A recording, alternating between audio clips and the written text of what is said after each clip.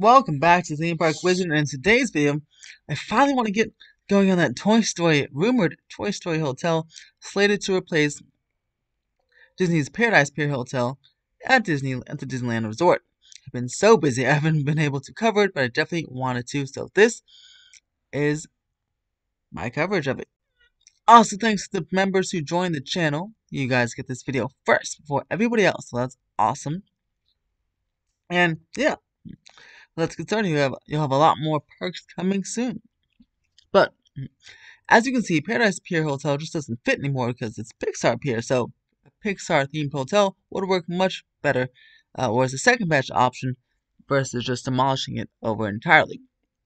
And the entrance Porto Car or Porto Shea, I can never tell what it's called, but the valet area looks fantastic. I love the Pixo ball and uh, Luxo, Luxo balls right there and little blocks as the supports.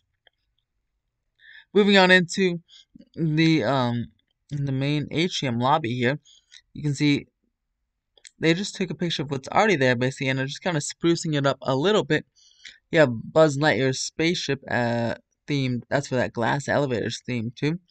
You just have uh, Forky and Jessie and uh, Rex and some friends from the wall. I guess will be hanging from the wall in those hmm, hang glider slash parachute type contraptions. Then you have Woody and uh, Buzz as like a centerpiece statue right there.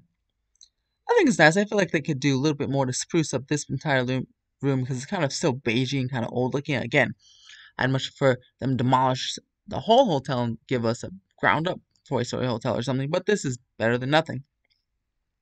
Moving on to the lobby area, you have looks like two regular check-in stands and two ones two themed as Rubik's cubes.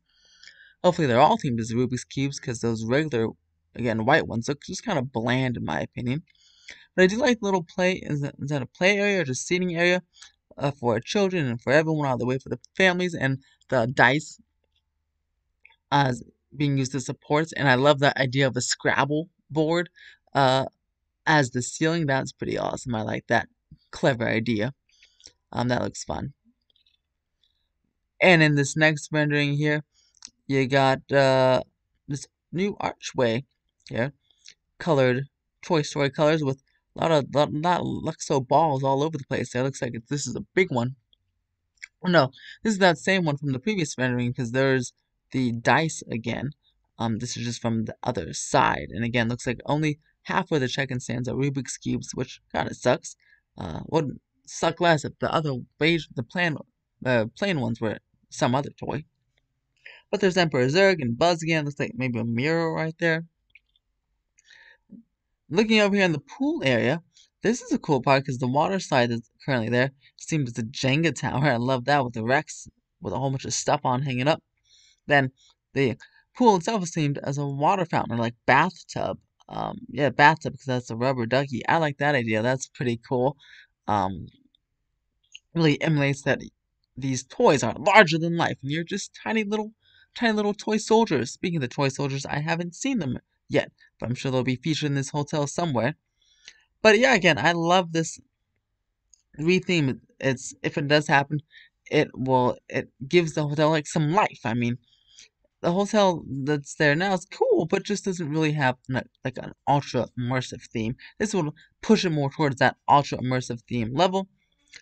There's a Toy Story logo there, and the rest of the pool looks like maybe some crayons of the cabanas there, existing cabanas or new cabanas. And it looks very nice. I would dig it. If this happened, I would dig it. And I say if it would, because this was a pre-pandemic um, idea. Presumably as part of maybe that Disneyland Forward idea, because again, there's new theme park space slated to be in those parking lots. So obviously people wouldn't hopefully people wouldn't want Disney wouldn't want people looking at a bland hotel.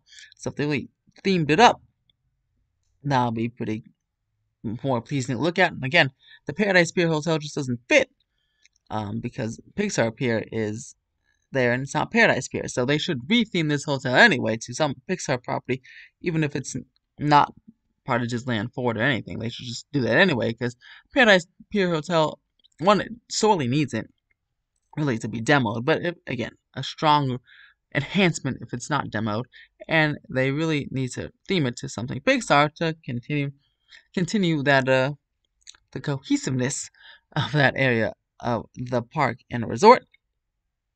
Here's the side plan of the hotel. You can see the the water side, the couple pools there. Uh, you got um, you got a splash play zone. Um, you got I like how the Uno cards are there as like the ground right there.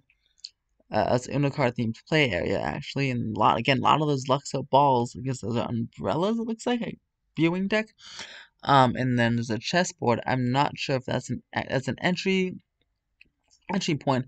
Uh, so I mean it's probably not a real chessboard, but it's uh, a checkerboard. Sorry, but um, that's nice. And then you see you got a Bing Bag Lounge a nice movie screen. I'm not sure if this stuff is there already. Again, I haven't actually been inside the Paradise Pier Hotel, so I don't know if some of this. I know the water side's there, but um, because you can see that from the parking lot. But I don't know if like the movie screen is there and these play areas are there and it's gonna be rethemed or maybe added.